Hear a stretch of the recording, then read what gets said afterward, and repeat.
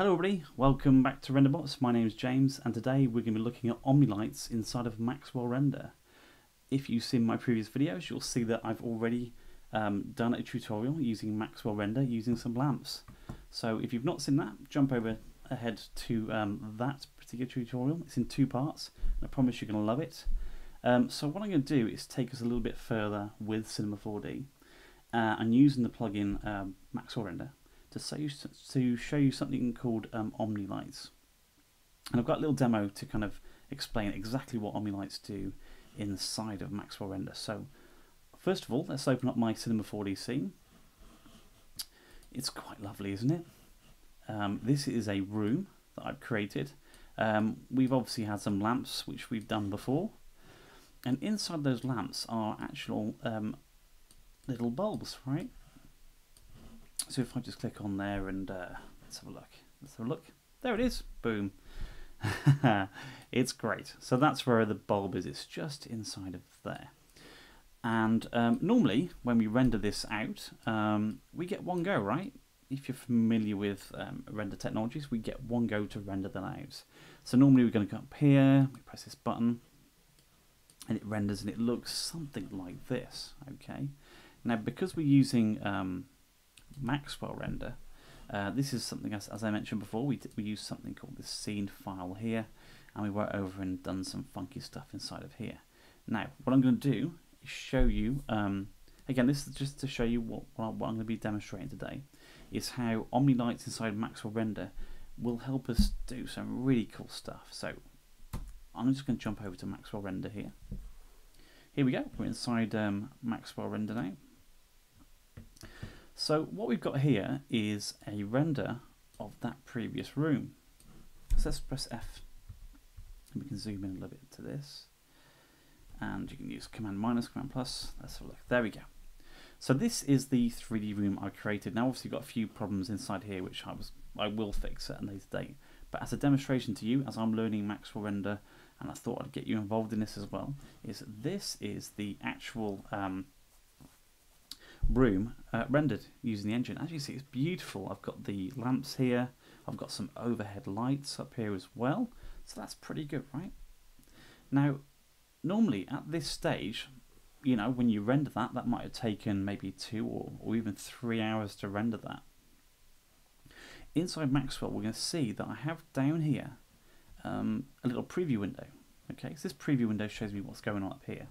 Now, if I hit refresh, it doesn't do anything because I've not changed anything, but because I'm using something called OmniLight, um, I now have these objects here. You'll see here it says top light. If I turn my head like this, it says top light uh, and then something called shades and then sky as well. So top light, shades and sky. What's great about this is, even though I've rendered it now, I can now move the shades down. Now, if you look over here, as I'm doing that, I'm seeing a little preview of how that's affecting. Now if I hit refresh, fantastic, right? I'm able to change the render without having to go back and re-render it all. So this two or three hour render is now done just by me moving that shade lights right down. So move right down to there and press refresh. And those overhead lights are now lighting that light up pretty well, right? So let's look at the top lights. So if I move these down, you already see that the preview is showing me that. Amazing, right? So let's turn the top lights off completely. Hit refresh. We've got a slight glow off the lamps. If I move the shade quality up, press refresh, boom, look at that. Just I'll go a bit drastic on that so you can really see that working. So this is amazing, guys. Um, being able to um, change uh, the the render and the lighting of the render after you've done it. You've also got inside here uh, ISOs as well. So the overall brightness of the project, we can turn that up and down as well. So this is just brilliant, okay? And even the shutter as well, look. And so I'm going back to refresh every time I do it. So with that done, I'm now going to show you how to do it, right? Using all these sliders and making all this work. So what we're going to do, we go back to cinema, which is over here, like so. Let's open that up. And uh, we're going to start a new project. And again, really, really basic here. We're going to go File and open up a new one. So first thing we're going to do is we're going to create um, three bulbs. Okay, so we've got a sphere. And you'll see it's a 100 um, centimeters there, so we're going to change it to 20 centimeters. Okay, and we're going to press, um, so we'll name that ball 1 like that. Command C, Command V, and we'll have uh, ball 2. Perfect. Command C, Command V. Okay, and we'll name this uh, ball. Let's have a look. Ball three. There we go. So we've got three very very simple balls here at the moment. Now what I'm going to do is I'm going to put it into a little room. Okay, so I'm going to open up a cube like that. You see the cube's quite big. We'll stretch it out like that. We'll move it up. Maybe pull the sides out like that. Now if I click on any one of these balls and press the S key, it will focus the camera beautifully um, inside of there. Let's just get rid of that. Um, it'll focus the camera right inside of there. Now if I just pull back, because what I want to do is see all these three balls, right? Very simple. Uh, let's maybe uh, pull them back a little bit there. There we go. Alright, so there's my first one, second one, and third one there. Okay, so very simple, three balls in a row inside of this box. Now, what we're going to do here is we're going to create um, these Omni lights. Now to do this, I go to the word um, create, um, shader, and I'm going to pick the word Maxwell shader. Okay, uh, with that done, I'm going to click on the Maxwell shader button there, go up to word create, standard, and just choose the word emitter here. Okay, so with that done, this is 40 watts. I'm going to press OK. That's the, the kind of light I want.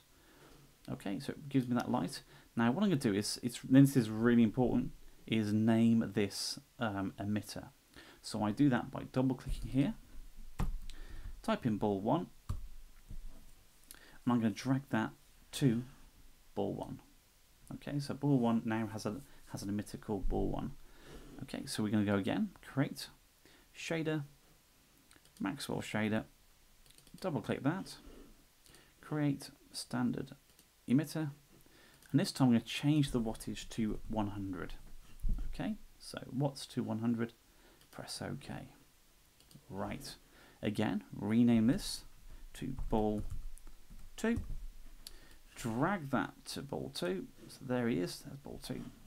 Again, just repeat the process again, so um, shader, Maxwell render, double click that, create standard emitter, and I make that 200 watts. So we've gone from 40 to 100 to 200.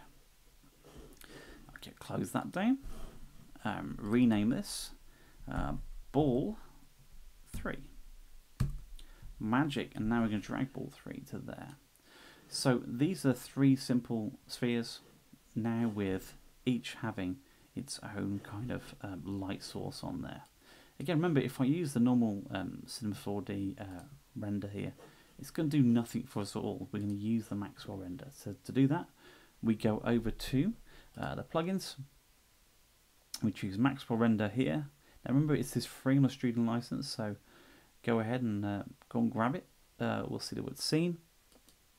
So now we have a Maxwell scene in here. So what's this going to look like? Well, if I hit the word fire, we'll see it starts to show us three white balls.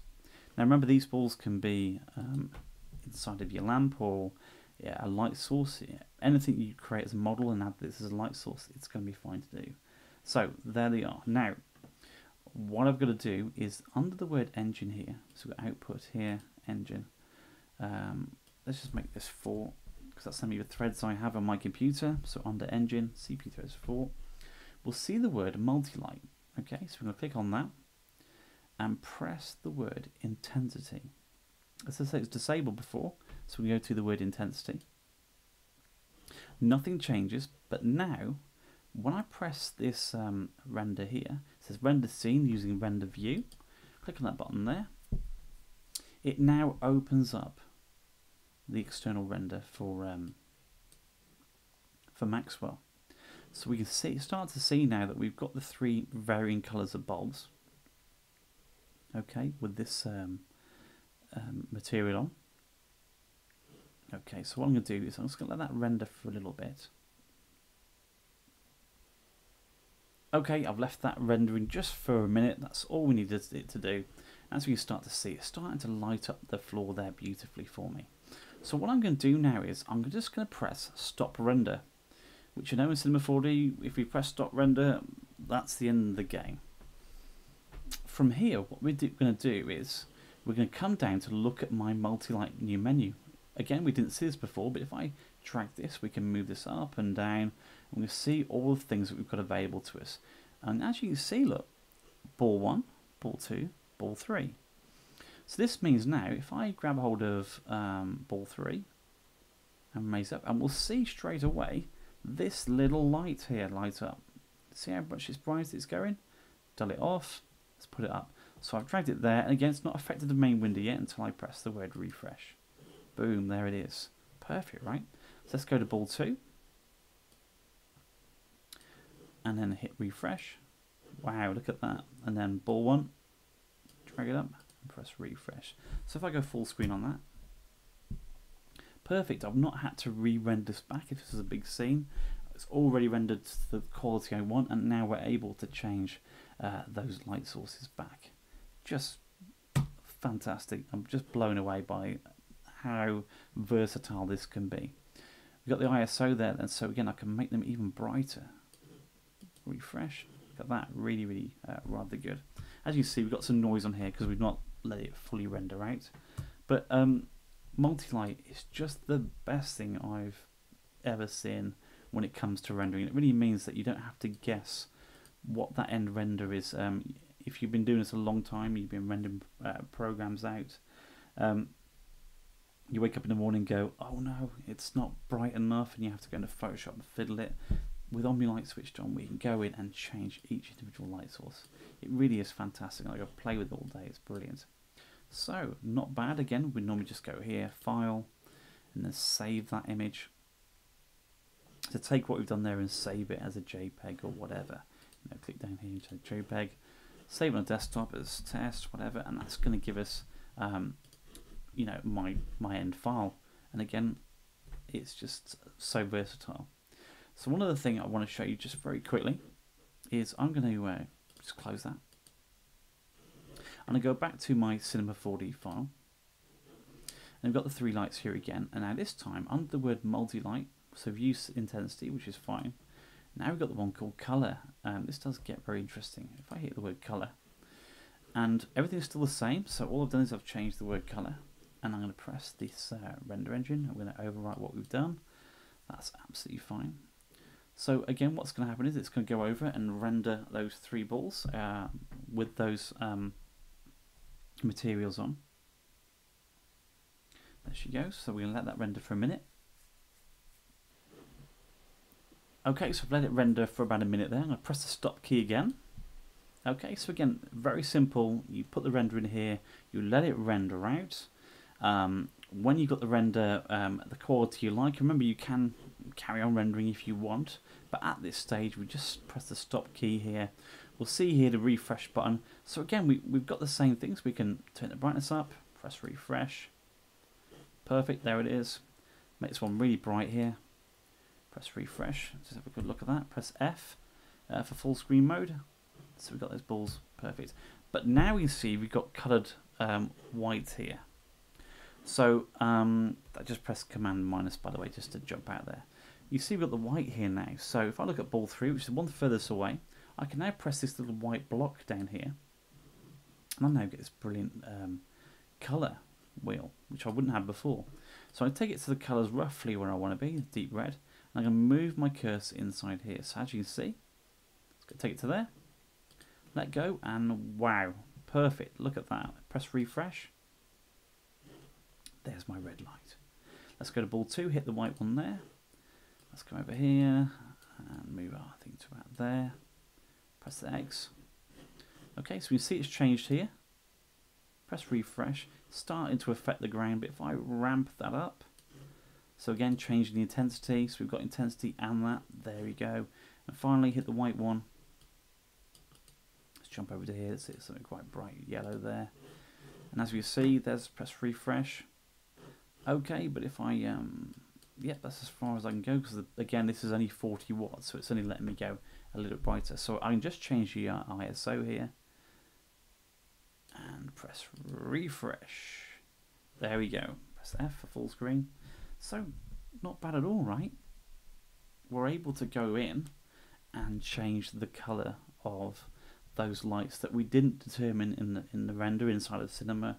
We just called it an emitter, and now from here we can go in and change this. And again, these ISOs are just brilliant to get a real nice look, and and just alter that. You know, everybody sees pictures differently. Um, you probably get criticised if it looks too too bright or too dark. At least now we can go in and change it. This um, in itself, for me. Um, just blows my mind. For, for the years I've been using cinema, um, this just opens up a whole new ballpark for us. So that is OmniLights. Um, as always, um, that is it for now. Um, as I promised you, I'll do a few more of these uh, with Maxwell if I learn more as I'm going. As I said, I'm just I'm not an expert in Maxwell. I'm just learning as you guys are, and I'm sharing that information with you. So I hope you appreciate that. I am not an expert on this, so I'm just going through the motions. Uh, I've learned a lot off a fellow colleague, um, uh, Rob Redman. I've mentioned him before.